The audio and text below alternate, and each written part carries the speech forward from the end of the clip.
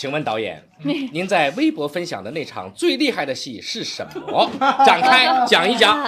哇，呃，那场戏是我们的一个，呃，那场戏拍了有三天都没拍成，因为我们要准备一个浴桶，然后那个浴桶里要放很多的冰，然后那个冰呢前三天都化了，所以后来好不容易在第三天的时候终于就拍成了。嗯，大家想到这儿应该知道是什么戏了吧？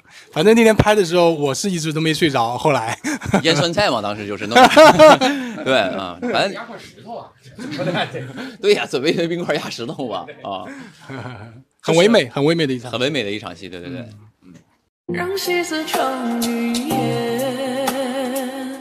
他做红帐面的